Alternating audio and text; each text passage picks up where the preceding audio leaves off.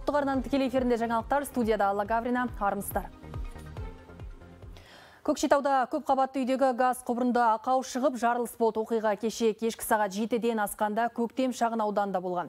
Тұрғын үй газ тарату қондырғысына қосылған бір апта бойы көгілдір отын болмағандықтан пәтер иесі баллон пайдаланған. Үйге газ берілгенде жарылыс болды. Салдарынан 51 жастағы әйел адам дене жарақатын алып ауруханаға жеткізілді. Оның денесінің 20 пайызын күйік шалған, қазір жағдай қалыпты дейді дәрігерлер. Үш пәтердің қабырғаларына зақым келген. На место было Оқиға орнына төтенше жағдайлар қызметінің 22 қызметкері мен 5 техника жұмылдырылды. Екі әйел адамға медициналық көмек көрсетілді. Оның бірі ауруханаға жеткізіліп, екінші тұрғын үйіне қайтарылды. Жарылыс болған пәтерде тергеу тексеріс жұмыстары жүргізілді. Алматы облысында ірі көлемде есірткі сақтаған тұрғын ұсталды. Күдіктіге аса ірі мөлшерде есірткі заттарын өткізу және сақтау бойынша айып тағылды. Есірткі қылмысына қарсы қызметкерлердің тінту кезінде 54 жастағы азамат өз еркімен 4 полиэтиленге оралған зат берілген. Ал қызметтік іздестіру иті ғимаратқа жапсарлас құрылыстардың ішінен екі пластмасса бөшке тапқан. Облыстық полиция департаментінің мәліметінше тәркіленген заттардың есірткі екені анықталған. Марихуананың жалпы салмағы 2,5 келіге жуық. Қолға түскен күдікті уақытша ұстау изоляторына қамалып, үстінен қылмыстық іс қозғалды. Елордада полиция ұстаған жастар автозактан қашып кетті. Олардың осы әрекеті бейнеге түсіп әлеуметтік желіге тарады. 102-ге хабарласқан тұрғын түнгі клубтың қасында төбелес болып жатқанын хабарлаған. Тәртіп сақшылары сол жерде болған ер азаматтарды арнайы автобуспен бөлімшеге апара жатқанда ұсталған жетеу көліктен секіріп қаша жөнелген. Бірақ тәртіп сақшылары кейін олардың бәрін қайта ұстап қоғамдық орында мас күйінде жүргендер үшін әкімшілік шара қолданды. Алматы облысында Сібір елігін заңсыз атқан ер адам бір жарым жылға сотталды. Сот сонымен қатар 39 жастағы тұрғынды 3 жылға дейін аң аулау құқығынан айырды.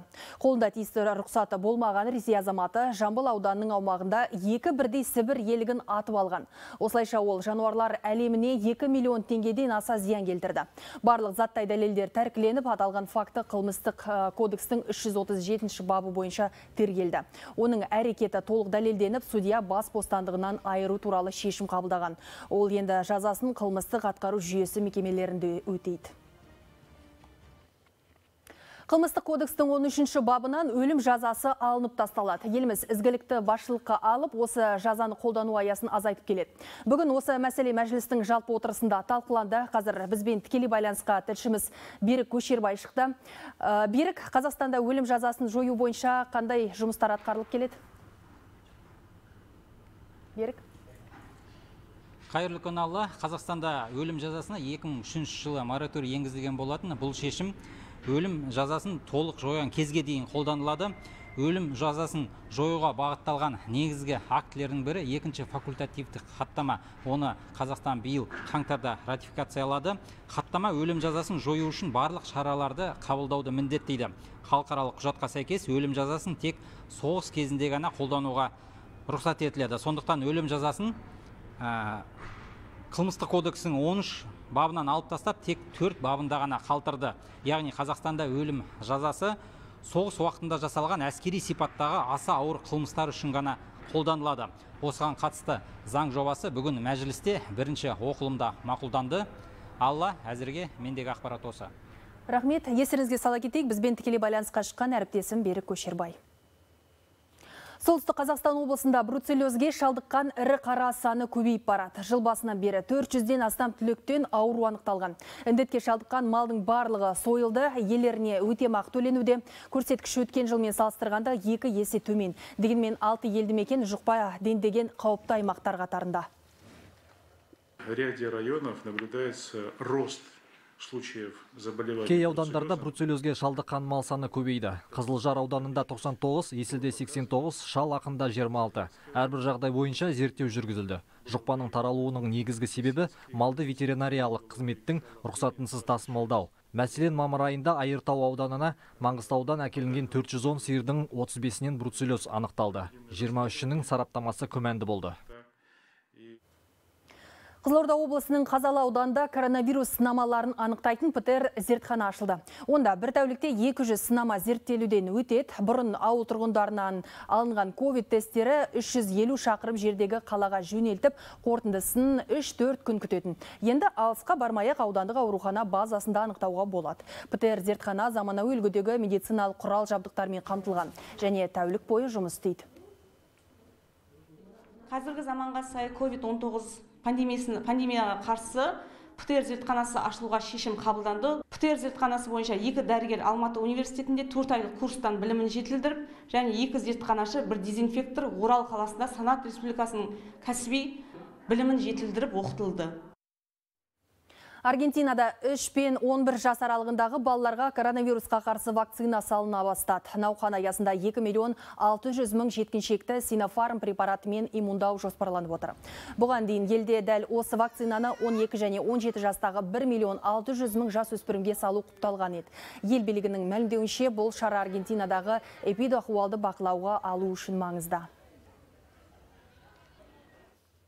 Грекияның Крит аралында қуаты 6-да 3 балдық жер сілкінісі болды. Зілзала ошағы теңіз түбінде 2 шақырым тереңдікте анықталған. Бірінен кейін бірі 3 дүмпу болды. Табиғи апат кезінде ауылдардың бірінде ғибадатхана құлап, өзгеде ғимараттарға зақым келді. Дүмпудің күштілігі соншалық ол Критке іргелес арал тұрғындарына да сезілген. Мұнда 3 апта бұрын болған қуатты зілзаладан бір адам қаза тапқан еді. Ал Мексиканың тынық мұхит жағалауына Памела дауылы соққы беріп, Синалоа штатында алапат су тасқыны жүрген. Ауа райын бақылаушылардың мәліметінше дауыл барған сайын күшейіп Техас жағалауына жетуі мүмкін. Айта кету керек бұған дейін Мексика, Грейс және Олов дауылдарынан зардап шегіп инфрақұрылымға айтарлықтай зақым келді. Канаданың Онтарио провинциясында газ э, бағасы күрт қымбаттады. Қазір Торонтода көгілдір отының 1 литрі 2 долларға жуықтаған. Жергілікті тұрғындар ел тарихында газ бағасының осыншама өсуіне куә болмағандарын айтады. Ал қымбатшылыққа ұсыныстың сұраныстан төмен болу себепші. Айта кетері, Еуропа елдеріндегі көгілдір отын нарығындағы жағдай да тұрақсыз. Мамандардың пікірінше бұған жылту маусымы алдында газ қоймаларының толық болмауы, экономикалардың пандемиядан ес жия бастауы ықпал етіп отыр. Арктика мұзының еруінен қоршаған ортаға қырғи қабақ соғыстан қалған радиоактивті заттар антибиотиктерге төзімді бактерия мен жаңа вирустар тарауы мүмкін. Ғалымдар осылай деп дабыл қағып отыр. Зерттеу авторларының сөзінше кеңес содағы жаңа жер архипелагы жағалауында 130 ядралық сынақ өткізген. Бұған қоса Баренц және Кар теңіздерінде жүзден астам атомдық сүңгуір қайықтарды батырған еске салды. Ақш болса, сол тұста Гренландияда ядралық қондырғыларды қолданып мұз асты зерттеулерін жүргізген. Ал мәңгі мұздықтар ерейтін болса, улы қалдықтар сумен араласып экологияға қауіп төндіреді. Зерттеушілердің айтуынша бұл сценарийді болдырмас үшін Париж климаттық келісімнің ережелерін қатаң сақтау, жаһандық ауа температурасының көтерілуін бір жарым градустан асырмау маңызды. Талдықорғанның айналасы күл қоқыс алаңына айналып барады. Әсіресе Қаратал өзенінің жағалауында тұрмыстық қалдықтардан аяқ алып жүру мүмкін емес. Экологтар бейберекет шашылып жатқан қоқыс алаңдарын жер сергі арқылы анықтап, жергілікті атқарушы билікке нұсқаулар беріп жатқанымен жағдай оңалар емес. талдықорған қаласының тұрғындары өздері төгеді ол жағдайда ол өйткені жабайы орындар мысалы түнгі уақытта төгіп кетуі мүмкін енді оны жаңағыдай іздестіру әкімшілік жауапкершілікке тарту тарабы ол жергілікті атқарушы органдарда немесе жаңағы полиция қызметкерлерінде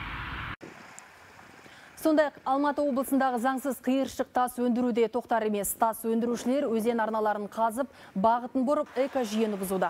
Сондай қуаңшылықтың зардабын көріп отырған шаруаларға зияны тиіп жатыр. Биыл 60-тан астам заң бұзу фактісі тіркеліп, сотқа жолданған жыл сайын облыс бюджетінен іле және Қаратал өзендерінің арналарын тазартуға қомақты қаржы бөлініп, мамандар суармалы алқаптарға тіршілік нәрін жеткізуге мәжбүр. Әзірге айтарымыз осы, келесі жаңалықтар топтамасы 15.00-де ұлттық арна қосылы болсын.